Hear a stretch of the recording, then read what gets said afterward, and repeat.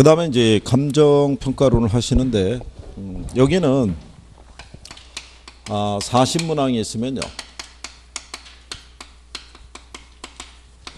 아, 15% 내외를 내도록 돼 있어요. 기준이. 그러니까 40문항 대비 15%니까 6문항인데 아, 통상 6개에서 한 7개 정도 뭐 이렇게 언급이 됩니다. 그래서 얘는 이제 목차가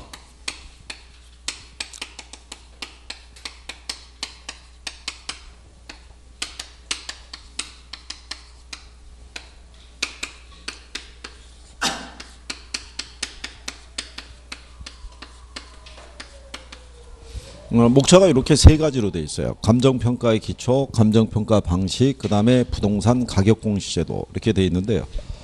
아, 출제 패턴은 음, 요런 정도의 비중이라고 보시면 되죠. 두 개, 세 개, 하나 뭐 이렇게. 아, 여기 감정평가 기초에서는 이제 이론밖에는 나올 게 없고요. 어, 감정평가 방식을 가면은 원가가 있고 비교가 있고 수익이 있으면 아, 얘네들은 이론 아니면은 계산을 낼 수 있어요. 아, 근데 이제 작년 패턴은 이게 전부 다 계산 논리만 물어봤어요. 계산만. 그러니까 이론이 안 나오고 있다는 얘기죠. 아, 그 얘기는 뭐냐면, 음, 여러분들이 이, 이쪽을 싫어하세요. 감정평가 방식을. 그러니까 공부를 안 한다고 볼- 맞겠죠. 그러니까 어차피 공부 안 하는 거니까 뭘 냈냐면 계산 문제 냈다는 얘기죠. 그럼 차라리 여러분들 입장에서는 편할 수도 있죠. 어차피 공부 잘 안 하시니까. 그죠? 얘는 뭐 당연히 이론을 내는데 얘는 이론이라기보다는요. 법 조문이 있죠. 예, 조문의 기초에서 문제를 주는 거기 때문에 이건 감정평가 이론이라고 할 수는 없고요. 예, 가격 공시제도에 관한 법률적인 관계 이해만 이제 조금 해주시면 되죠. 그러면 얘네를 빼더라도 몇 개는 맞을 수 있냐면 세 개는 맞을 수 있어요. 반타작은. 그렇죠? 음, 그러니까 다 버리는 것보다는 그게 낫다는 얘기죠. 그래서 여기 있는 뭐 기초라든가 뭐 가격 공시제도 그다음에 감정 평가 규칙에서 나오는 용어 정도만 이해하셔도 기본적인 거는 이제 맞추실 수 있다 이런 얘기예요. 자, 그러면 이제 제일 먼저 보시면 음, 감정 평가의 의의가 이렇게 나오는데요. 어, 우리 교재 보시면 감정 평가란 그 토지 등의 경제적 가치를 판정해서 그 결과를 가액으로 표시한다 그랬을 때 거기 보면은 이 가격 및 감정 평가에 관한 법률이라고 돼 있죠. 가로에. 예, 그 지난번에 수정해 드렸죠. 법률이 그게 바뀌어 가지고요.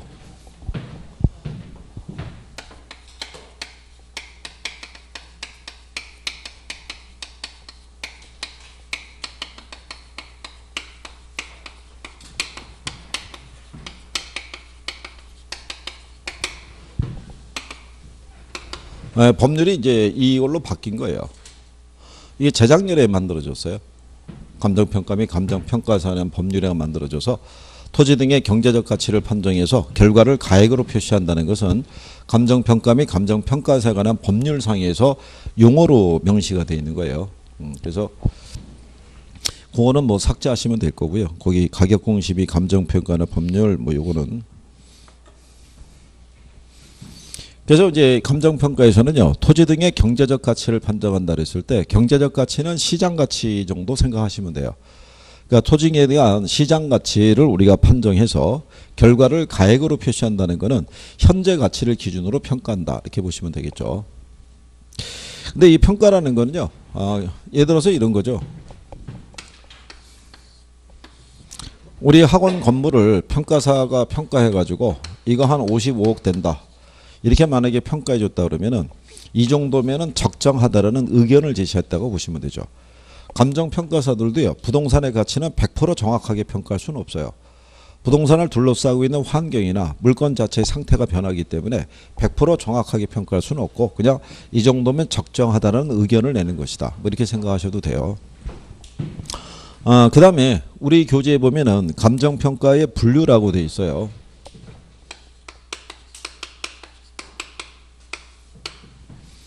아, 분류상에서 보시면 공적인 평가가 있고 공인 평가가 있는데요. 제목대로요. 공적인 평가는 공적인 주체가 하- 행하는 평가를 얘기를 하고요. 공인 평가는 국가로부터 자격을 부여받은 개인에 의해서 행하는 평가를 공인 평가라고 그래요. 그러니까 여러분들이 공인 중개사잖아요. 그러니까 국가로부터 여러분들은 자격을 공인받은 거죠. 그죠? 음. 그런 내용이고요. 필수적 평가하고 임의적 평가가 있으면요. 아, 필수적 평가는 이게 제목대로요. 법의 규정에 있어서 일정한 사유가 있으면 반드시 평가가 이루어져야 돼요. 작업이.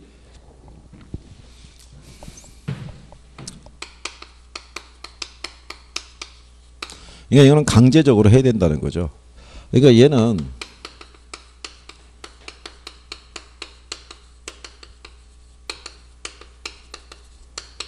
이 평가가 선행되지 않으면 법적인 효력이 발생되지 않기 때문에 평가를 반드시 행해야 되는 거죠. 지난번에 예를 들어서 설명해 드렸는데 법원에서 경매 그 개시 절차에 대해서 공고하죠. 그러면 이제 경매 물건이 이제 쭉 나오잖아요. 그죠? 타격 뭐 메토엑 이제 쭉 나올 때 거기 보면은 이 경매 물건에 관한 이게 나온다고요. 얘가 있어야지만 얘를 기준으로 절차가 진행이 되죠. 그러니까 경매라는 절차를 진행하기 위해서는 반드시 먼저 뭐가 나와야 돼요. 감정가가 먼저 산정이 돼야 된다는 거예요. 법의 규정에서. 그래서 그런 평가를 무슨 평가를 한다? 필수적 평가. 그래서 필수적 평가의 종류에 보면 보상 평가, 경매 평가 뭐 이런 거 나오잖아요. 무슨 말인지 아시겠나요? 음, 그래서 이게 시험에 한번 나온 적이 있어요. 법원에서 행하는 이 경매 물건에 관한 감정 평가 있죠. 법원의 임의적 판단에서 행하는 것이기 때문에 임의적 평가로 한다. 그럼 틀리겠죠. 음, 필수적 평가일 거 아니에요. 그래서 그걸 그 해 시험 문제 그걸 답으로 유도한 적이 있어요. 그 다음에 임의적 평가는요. 어, 이해관계인의 필요에 따라서 할 수도 있고 안 할 수도 있는 경우라고 생각하시면 돼요.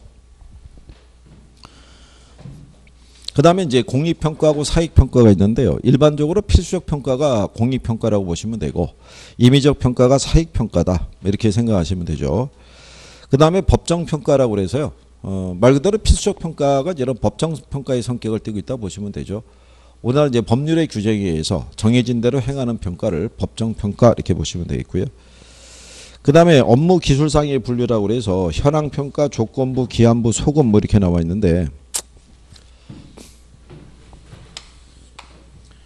아, 지난번에 설명해 드렸지만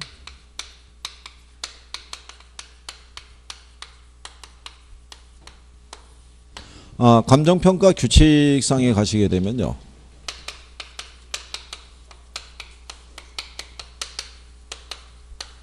현황 기준 원칙이라는 게 있고요. 음, 그 다음에 시장 가치 기준 원칙이라는 게 있고요. 그 다음에 개별 물건 기준 원칙이라는 게 있어요.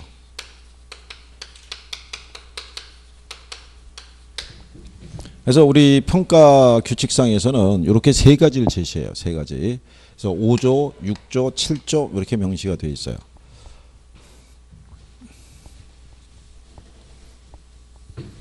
그래서 이제 요 중에서 그 첫 번째로 이거 시험 지문에 나온 거예요. 다음 중에서 감정평가 규칙상에서 이 표, 어, 나타나지 않는 게 뭐냐 해서 답으로 물어봤을 때 다 들어왔다고요. 이거. 아, 그래서 제일 먼저 아, 현황 기준 원칙이라는 것은요. 감정평가라는 것은요. 아, 이 현황 평가가 원칙이라는 거예요. 현황 평가가. 그러니까 현황 평가라는 것은요.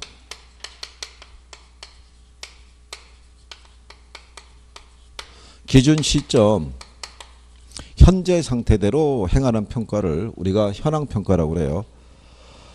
그러니까 예를 들어서 공법상 제약을 받는 부분이 있으면 그대로 그죠? 단 일시적이거나 아, 불법적인 이용은 제외하는 걸로. 그러면 여기서는 틀리게 줄 수 있는 지문이 이거밖에 없어요. 자, 기준자 현재 상태로 평가하는데 일시적 이용 상태를 포함한 근데 불법적인 것만 안 된다 그러면 틀리겠죠. 일시적인 이용도 포함이 된다 안 된다 안 돼요.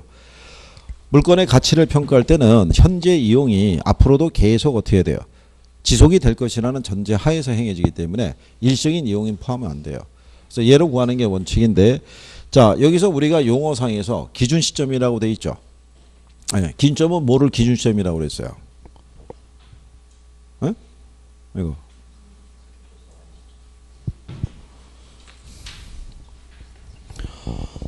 어, 430페이지 가면요. 거기 상단 박스에 기준 시점이라고 돼 있죠. 자, 기준 시점이란 감정 평가의 기준이 되는 날짜예요. 그러면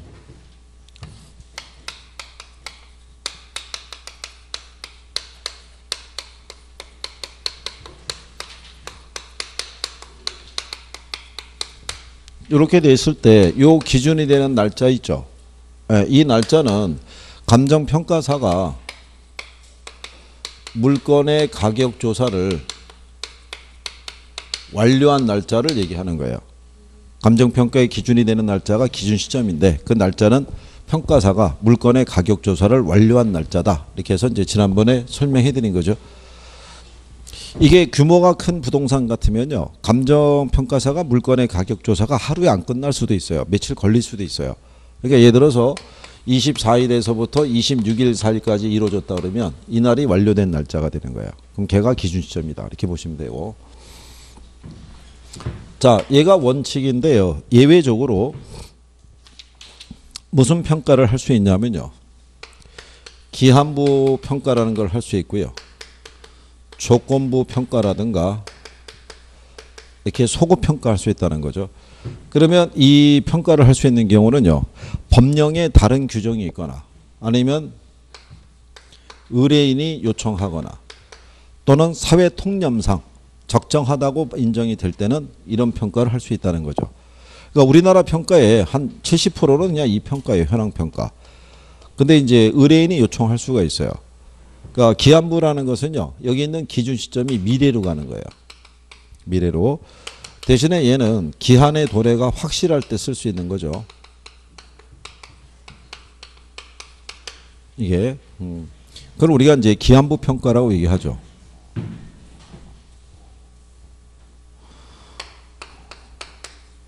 자, A라는 동네에 이렇게 건물을 갖고 있는 사람이 있어요.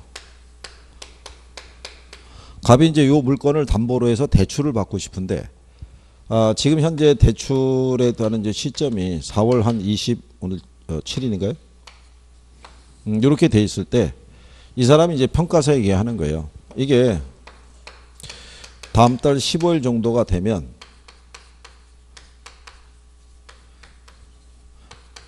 이 건물 주변에 지하철역 공사가 있었는데 이게 개통이 된다는 거죠. 그러면 한 보름 정도면 개통이 된다는 얘기는 공정률이 99%라는 얘기잖아요. 그 이때가 되면은 이건 반드시 실현이 된다고 봐야겠죠. 근데 여기 있고 없고에 따라서 가치가 틀려질 거 아니에요. 그러니까 얘가 지금 현재 들어선 걸 가정해서 평가해 달라고 요청할 수가 있겠죠. 그러면 기준점이 어디로 갈 수 있어요? 미래 일정 시점으로 대신에 기한의 도래가 확실할 때 쓸 수 있고요. 여기 있는 이제 조건부 평가는 단서를 다는 경우인데요. 요거는 가령 예를 들어서 건부지 상태인데 무슨 상태로 낮이 상태로 보고 평가하는 경우를 얘기를 해요. 그러니까 표준지 공시가 같은 거 산정할 때 있죠. 자, 표준지를 선정해야 되는데 도시지역은 대부분 건물하고 결합되어 있는 경우가 많죠. 예, 토지만의 어떤 이제 이런 표준지를 구하기는 어려워요. 그럼 토지에 건물이 결합되어 있는 게 뭐냐면 건부지일 때 이거를 뭐로 가정하고 나지로.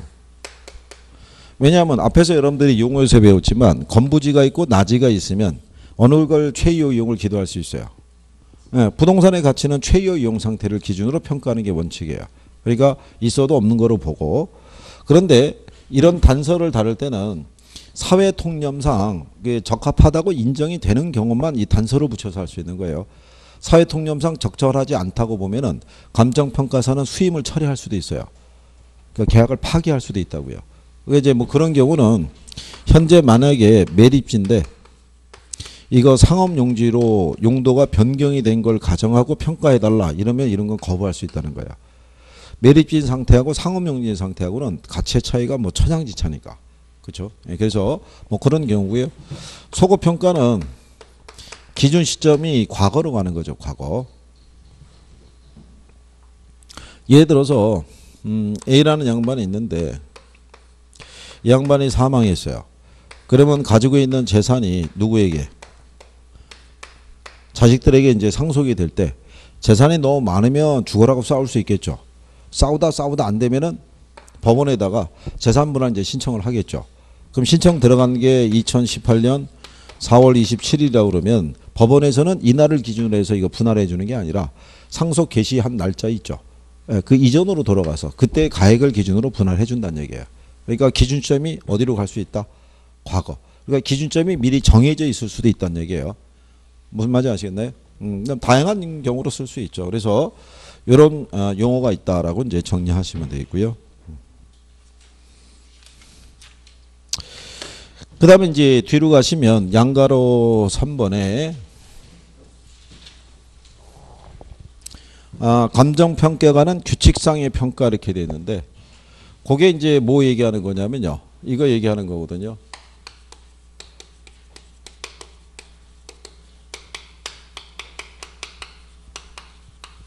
어, 감정평가 규칙상에서는 개별 물건 기준 원칙에 해당이 되는 거예요. 자, 감정평가상에서는요. 일단 평가는 개별 평가가 원칙이에요. 개별 평가가 원칙인데 조금 아까 얘기한 것처럼 음, 법령에 다른 규정이 있거나 의뢰인이 요청하거나 사회 통념상 적정하다고 판단이 될 때는 일괄에서도 평가할 수도 있고요. 그 다음에 구분해서도 평가할 수 있고 그 다음에 부분 평가도 할 수 있다 뭐 이런 편이에요. 이렇게. 그래서 여기 그 개별 물건 기준 원칙이 감정평가 규칙상에 가게 되면 얘가 7조인가 그래요. 7조. 7조에 가게 되면 1항이 이거예요. 개별 평가. 그 다음에 2항, 3항, 4항 이렇게 돼 있어요. 명시가. 자 그러면 개별 평가가 원칙이라고 얘기하는 거는요. 지난번에 설명했죠. 왜 우리는 평가를 개별 평가를 해야 돼요? 응? 평가를 왜 개별 평가를 해야 돼요? 네, 개별성이 있으니까. 개별성이 있어서 모든 토지는 뭐가 다 틀려요. 위치가 틀리잖아요. 위치가 틀리니까 다 개별적으로 평가하는 게 원칙이란 얘기죠. 그런데 예외적으로 여기 있는 네 개 필지가 있는데 얘네가 하나의 공장 부지로 제공이 되고 있으면 이거를 구분해서 평가하기가 그렇잖아요. 이럴 때 그냥 일괄해서 하란 얘기야. 용도상 불가분의 관계 있거나 그죠? 일괄해서 이용하고 있을 때 그죠? 그럴 때는 무슨 평가할 수 있다? 일괄. 이거 대부분 제목이 설명해요. 감정 평가에 대한 것도 이거 다 번역물이에요, 번역물. 그렇기 때문에 제목에서 대부분 나오는 거죠. 그럼 얘는 제목이 뭐라고 돼 있어요? 구분하는 거죠. 원래 하나의 물건이 있으면 이 물건 한 필지 자체로 평가를 해야 되는데 이 앞에 도로가 지나고 있는데 도로 전면은 상가로 쓰고 있고 이면은 주택이 들어서 있으면 하나의 물건이라도 가치를 달리하는 부분으로 돼 있으면 구분해서 평가라 이런 얘기죠. 이게 그 다음에 이제 부분 평가라는 거죠. 일체로 이용되고 있는 물건의 일부분을 평가해야 될 합리적인 조건이라든가 특수한 사정이 있으면 그 부분만 평가할 수 있다는 얘기죠. 여기 한 필지에 땅이 있는데 이렇게 도로가 열릴 수 있죠. 예, 그러면 도로로 수용이 된 데에 대한 보상 평가할 수도 있고 나머지 잔여지에 대한 보상 평가도 시행할 수 있다는 얘기죠. 원래는 이렇게 일체로 이용되고 있으면 일체로 이용되고 있는 요 한 부분만을 평가하는 것은 금하게 돼 있어요. 근데 이런 식의 상황이 발생하면은 이 부분만 평가할 수 있겠죠. 그런 거를 무슨 평가를 한다? 부분 평가라고 얘기하는 거예요. 자, 그래서 이제 그런 내용 정도 보시면 되겠고요.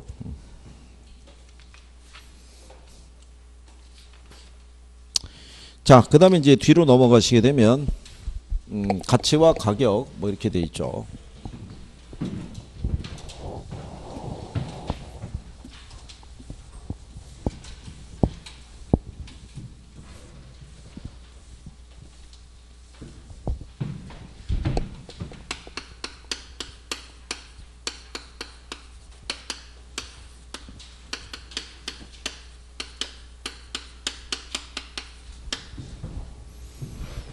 자, 가치와 가격에 대한 부분을 보시게 되면요. 어, 우리 교재는 가치란 어떤 물건으로부터 장래에 창출되는 편익을 현재 가치로 환원한 값이라고 정의할 수 있을 때 이렇게 정의한 것은 내구재에 적합한 정의다 이렇게 돼 있죠. 그렇죠? 우리가 지난번에 왜 가치의 정의 이렇게 해서 구별해 봤잖아요. 그죠?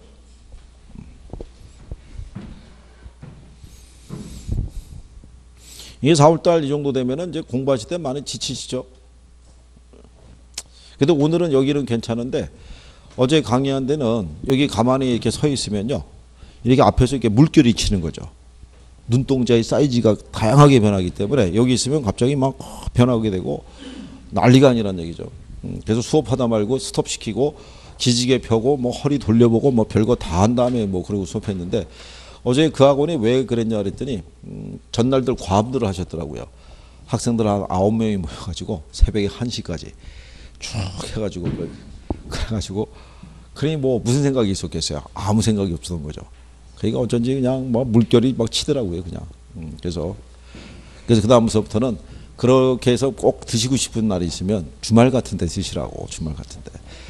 아니 뭐 공부만 뭐 계속 하라는 건 아니고요. 적절할 때 뭐 휴식을 취하는 것도 괜찮다 이거죠. 괜찮은데 제가 볼 때는 무리하게 제가 볼 때는 하신 것 같더라고요. 그거를.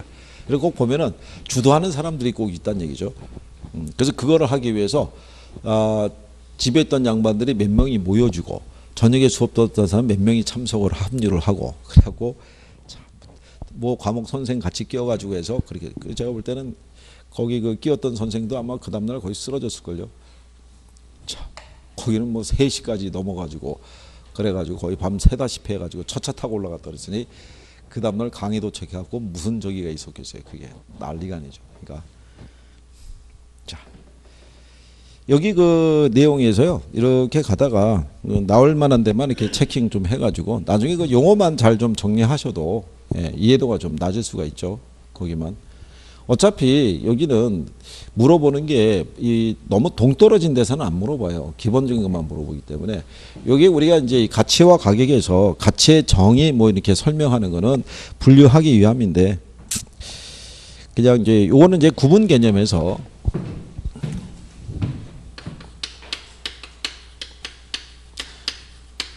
아, 우리 교재 보면 갑자기 거기 박스에 내구재하고 비내구재 이런 거 나오죠. 예, 그게 나온 이유가 뭐냐면요. 아, 가치의 정의를 아, 아담 스미스라는 사람이 내린 정의는 요건 비내구재에 적합한 가치 개념이라는 얘기고요. 그 다음에 어빙 피셔라고 하는 학자가 내린 정의는 요거는 이제 부동산과 같은 내구재에 적합한 것이다 이런 얘기죠.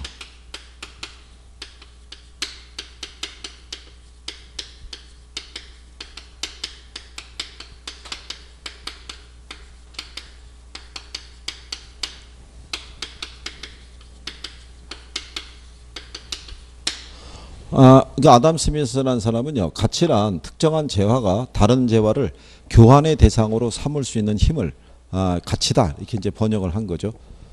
이게 아담 스미스라는 사람은요, 지난번에 설명해 드렸지만 재화의 가치는 사용 가치와 무슨 가치가 있다, 교환 가치가 있다라고 얘기를 한 거죠.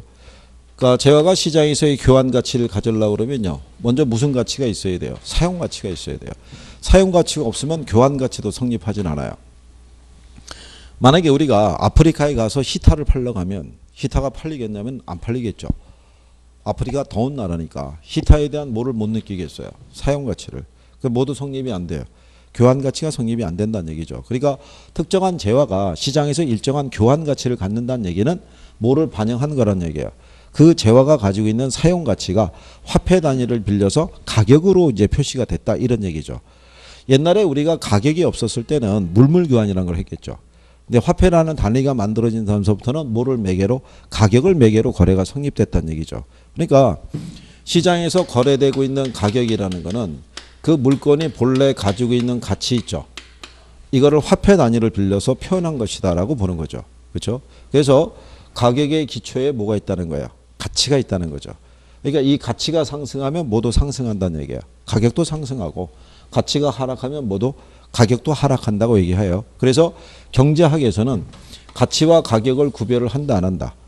구별을 안 한다는 얘기죠. 경제학에서는. 그래서 그 우리가 그 내용에 보면은 우리 교재 보면은 부동산 가격 이론이라고 돼 있죠. 그렇죠? 제목이. 예, 그게 왜 그러냐면 그 예전에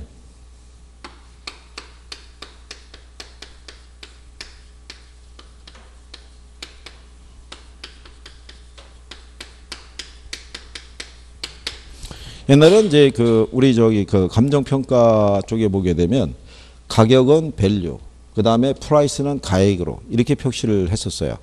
그러다 지금 이제 이렇게 바뀌어 가고 있는 거예요. 가치로. 옛날에 이제 우리나라의 이게 부동산의 이론을 소개했던 분이 그분이 경제학 전공이에요. 그러니까 경제학에서는 가치와 가격을 구별하지 않으니까 결국 가격이 가치라고 본 거겠죠. 그러니까 프라이스를 적절하게 표현할 게 없으니까 가액이라고 명시한 거예요. 그래서 감정평가 쪽에서는 다 가격이라고 했던 거예요. 가격. 음, 그래서 여기 있는 이제 요 정의는 이렇게 비내구재에 적합한 가치 개념이다라고 보죠. 그래서 이 경제학에서 보면 가격과 가치는 어떻게 돼요? 일치하고 있잖아요. 근데 단기적으로는 얘네가 괴리될 수 있다 없다.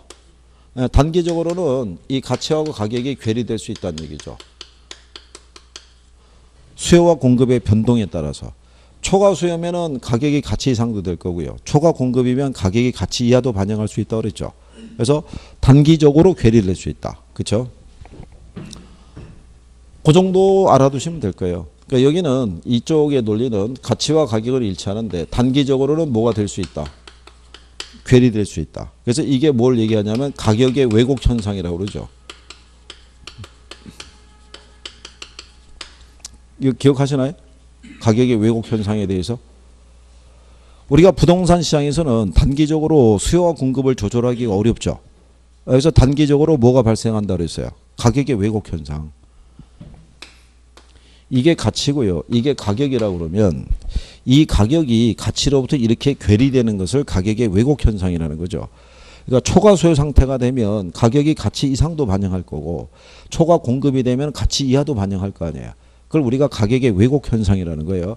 그러니까 단기적으로 이런 현상이 나타날 수 있고 장기적으로는 뭐하고 뭐가 일치한다. 가치하고 가격은 다시 일치한다고 얘기를 해요.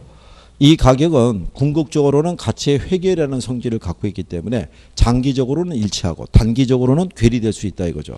실전에서는 그걸 반대로 출제한 적이 있어요. 단기적으로는 일치하고 장기적으로는 괴리된다 이렇게 바꿔준 적이 있어요. 그러니까 음, 여기서는 그 표현 정도 알아두시면 되고요. 그 다음에 아, 이 사람은 가치라는 것은 장래 기대되는 편익에 무슨 가치다? 현재 가치다. 이런 얘기죠. 그러니까 이런 내구재 같은 경우는 어디에 바탕을 두고 있는 거예요? 장래 기대되는 편익에 바탕을 두고 있죠. 그러니까 장래 기대되는 편익이 커지면 이 가치도 커져요, 안 커져요? 커질 거 아니에요. 그죠? 근데 장래 기대되는 편익에 관한 가치의 변화에 대한 정보가 확실하지 않으면 얘가 변하지 않죠. 그렇기 때문에 현실 시장에서 거래되고 있는 가격이 장래 기대되는 편익을 100% 정확하게 반영했다고 볼 수는 없어요. 그래서 내구재는 가치와 가격을 뭐 해야 되냐면 구별을 해야 된다고 얘기하는 거예요. 일치할 수가 없으니까. 그러니까 경제학에서는 일치한다고 보는 거죠. 소모성 재화니까. 그래서 음, 여러분들 교재에 보시게 되면 432페이지에 보면 이 가격과 가치의 관계라고 돼 있죠. 예, 그래서 거기 보면 가격의 본질은 가치고 가격은 가치에서 결정이 된다 이렇게 돼 있잖아요. 그래서 가치는 화폐를 매개로 가격이 되고 가격은 가치의 화표적인 표현이더라. 따라서 물건의 가치가 하락하면요 가격도 하락하고 가치가 상승하면 가격도 상승한다 이렇게 돼 있죠. 그러니까 여기가 이제 그 경제학적인 이런 개념이라고요. 예. 그리고 가치는 주관적 추상적인 개념이고 가격은 가치가 시장을 통해서 화폐 단위로 구현된 객관적 구체적인 개념이라 할 수 있다 이렇게 돼 있죠. 그러니까 가치라는 것은 주관적이고 추상적인 거예요. 예를 들어서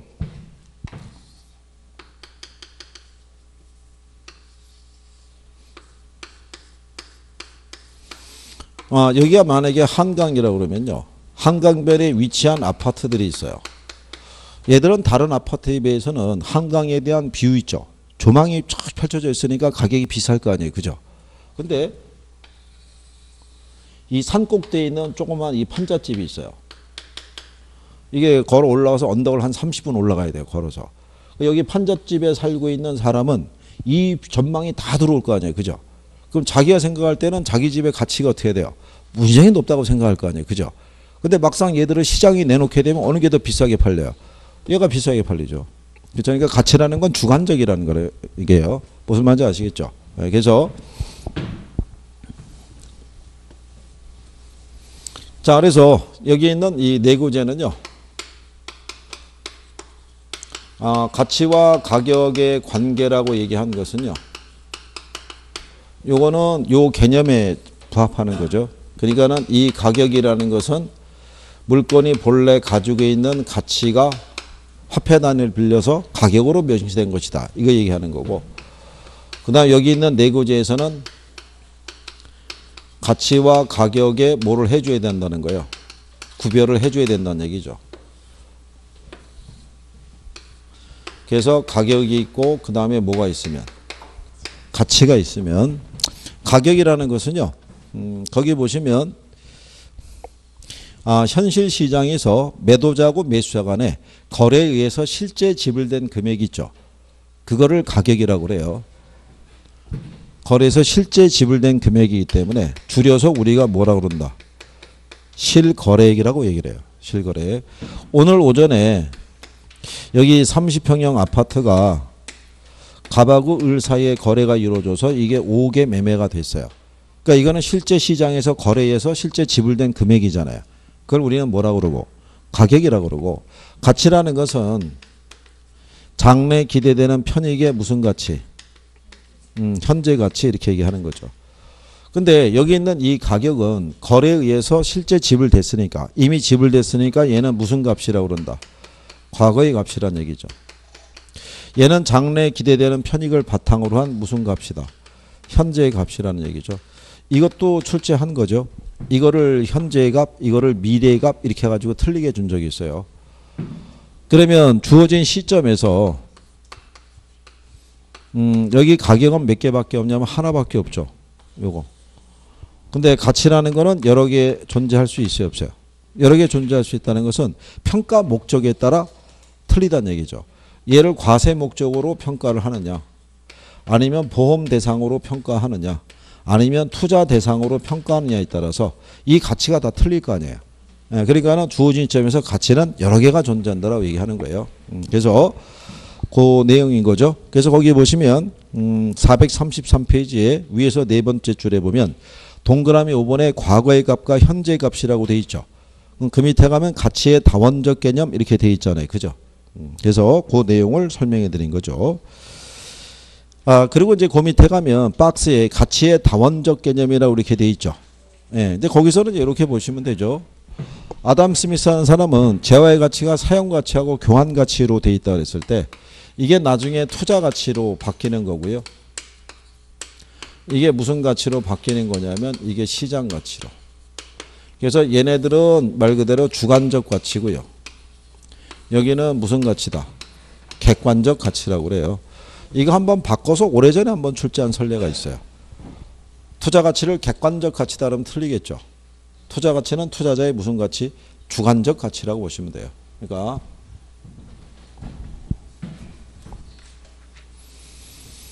음, 그래서 어, 뒤로 넘어가시게 되면 434페이지에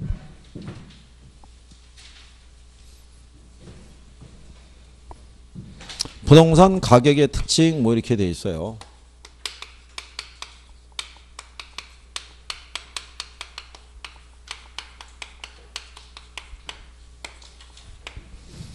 그러니까 이제 혹시 다른 데서 이렇게 뭐 서점 같은 데서 학계로 뭐 다른 교과서 이렇게 봤는데 뭐 부동산 가치의 특징 뭐 이렇게 돼 있다는 것도 이게 이제 바뀌었기 때문에 그렇게 한다라고 보시면 되고 그냥 같은 거라고 생각하셔도 돼요. 그래서 자 가격의 특징이라는 건 뭐냐면요 일반 재화에서는 찾아볼 수 없고요 부동산에서만 나타나는 특징이다 이거죠. 그죠? 자 그래서 부동산은요 일반 재화는 달리 가격하고요. 임료로 표시할 수 있죠. 그죠? 자, 일반 상품은요. 우리가 마트를 갔든 편의점을 갔든 간에 물건 자체의 가격밖에 없잖아요. 근데 우리가 중개 사무실에 가게 되면 아, 유리창이 붙어 있는 게 매매가 옆에 전세, 월세 이게 다 붙어 있잖아요. 그렇잖아요. 그럼 왜 부동산 상품은 하나의 물건인데 그죠? 가격 임료로 이렇게 두 개의 가격이라는 것이 붙을 수가 있겠어요. 일반 상품은 하나밖에 안 붙잖아요. 얘는 수명이 기니까 얘는 임대차에 제공이 되잖아요. 그렇죠? 그러니까 소유권 전체를 갖고도 거래할 수 있고 얘를 사용에 대한 대가로 임대료도 받을 수 있잖아요. 그죠? 그러니까 두 가지로 표시할 수 있는 거죠. 가격하고 뭐로? 임료로. 그건 일반 재화에서 찾아볼 수 없는 특징이잖아요. 그죠? 그 다음에 얘는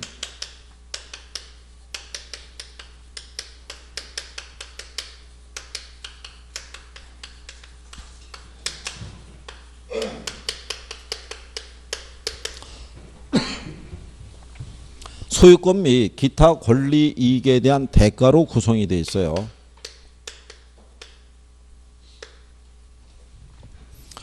그러면은 이 얘기는 뭐냐면요. 부동산 가격이라는 건요. 이 소유권 전체로서의 가치도 갖고 있고요. 여기 기타 권리이익이 있죠. 이걸 부분 권익이라고도 그래요.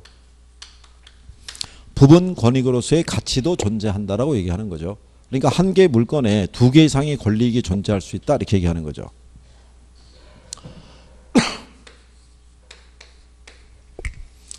여기 이 부동산을 소유하고 있는 사람은 뭐를 가지고 있어요? 소유권을.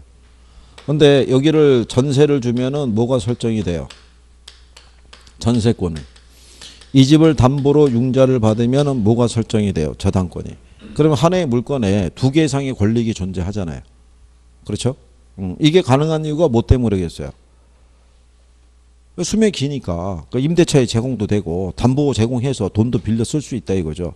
그러니까 여기서는 틀리게 줄 수 있는 게 그거밖에 없다 그랬잖아요. 하나의 물건에 두 개 이상의 권리익이 존재할 수 없다 그러면 틀리다고. 무슨 말인지 아시겠나요? 왜냐하면 얘네 둘을 합한 게 얘하고 항상 일치하지 않아요. 그렇죠? 전세권하고 저당권 합한 금액이 소유권 전체 가치하고 딱 일치하냐면 그렇지 않잖아요. 그러니까 따로따로 평가한다고요. 이거를. 그렇죠? 그래서 기억하실 거는 문장상에서 그거만 하나의 물건에도 두 개 이상의 권리익이 존재할 수 있다 없다. 거기 두 번째 줄에 돼 있잖아요. 두 개 이상의 권리익이 동일 부동산 위에 병존할 때는 개개 권리이익에 대해서도 가격이 형성이 된다 이렇게 돼 있잖아요. 예. 그 다음에 얘는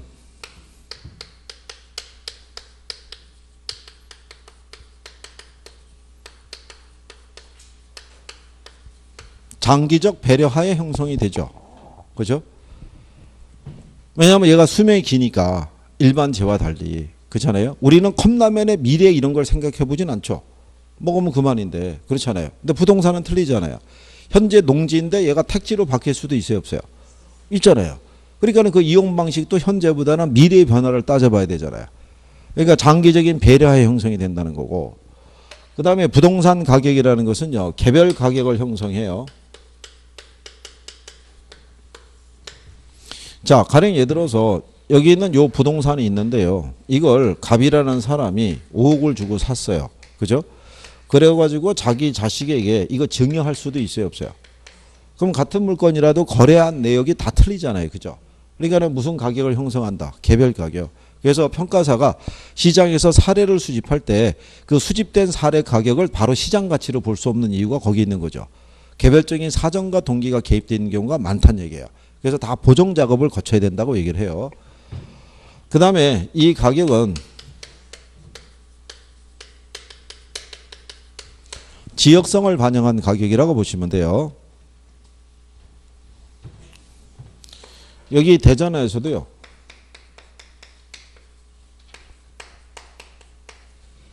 같은 30평이더라도 둔산동에 있느냐 오르동리에 따라서 시세가 어때요? 다를 거 아니에요. 주거 환경이 틀려서 그렇죠. 그 지역성을 반영한 가격이다. 그 다음에 부동산 가격의 특징 중에 하나가 하방 경직성이 있어요.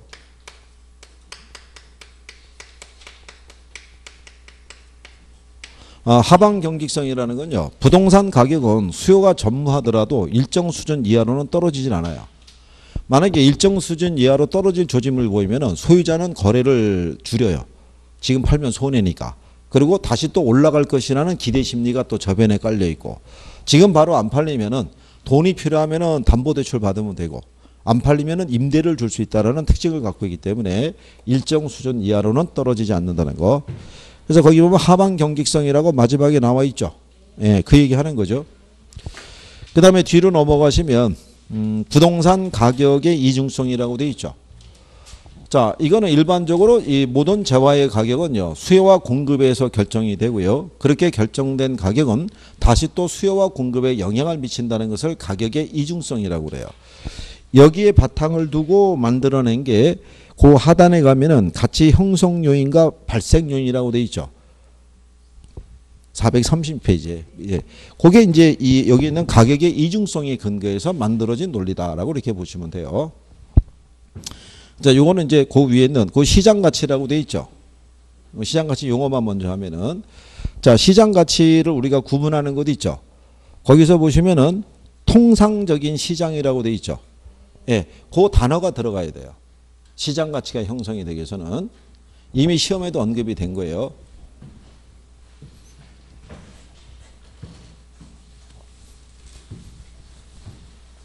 아까 저희가 뭐라고 그랬냐면 이게 있다고 그랬었죠.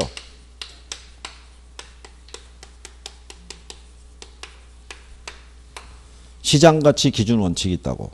그래서 평가는 무슨 가치를 기준으로 예, 이거로 구하는 게 원칙이에요. 시장 가치. 근데 시장 가치가 형성되기 위한 가장 기본적인 조건이 무슨 시장에서 통상적인 시장이에요. 요거 요게 다른 표현 나오면 틀린 거예요. 뭐 한정된 시장 이러면 틀리는 거예요. 이미 한번 낸 거예요.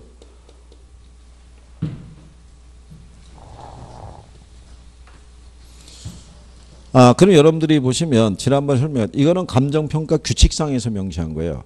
근데 이 부동산 가격 공시에 관한 법률이라고 있어요. 아, 이 법률상에서는 이거를 구하라고 돼 있어요.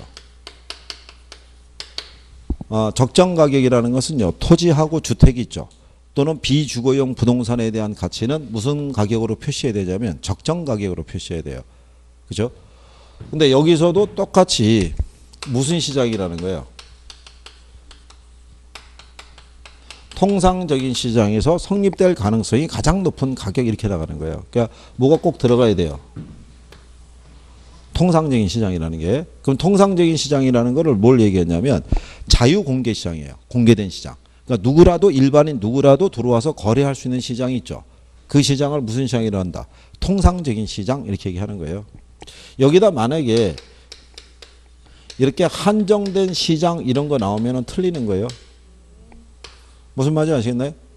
지난번에 제가 이거 한 거 기억하시죠?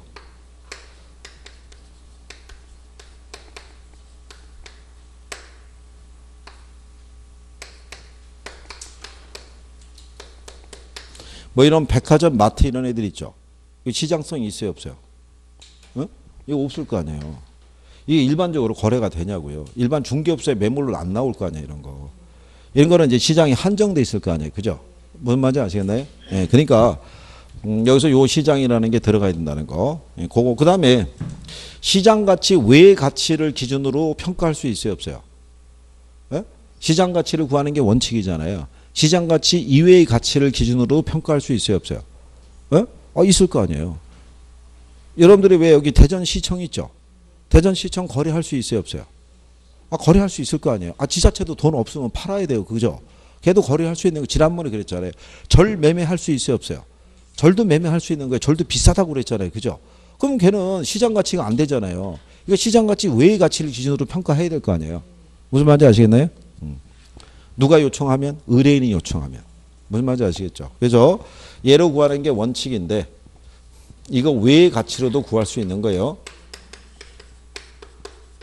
그러니까 제가 여러분들에게 이렇게 질문을 해서 여쭤보잖아요. 그러니까 여러분들의 대답이 불투명하다는 얘기는 여러분들이 시험장에 대해서 그렇죠. 딱 들어가면은 그게 나오면은 당황하는 거죠. 이게 있나 없나 뭐 이런 거잖아요. 그러니까 때 그걸 감안해서 내는 거예요. 이렇게 착각하라고. 예. 그런 정도만 하셔도 돼요.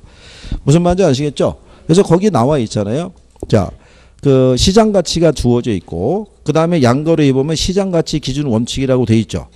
근데 거기 이항에 보면은 감정평가업자는 시장 가치 기준 원칙에도 불구하고 다음 어느 하나에 해당하는 경우에는 대상 물건의 감정평가액을 시장 가치 외의 가치를 기준으로 결정할 수 있다 이렇게 해놨잖아요. 그럼 어떨 때 하느냐? 감정평가 의뢰인이 요청하거나 법령에 다른 규정이 있거나 사회 통념상 필요하다고 인정이 되면 시장 가치 외의 가치를 기준으로 평가할 수 있는 거예요. 무슨 말인지 아시겠죠?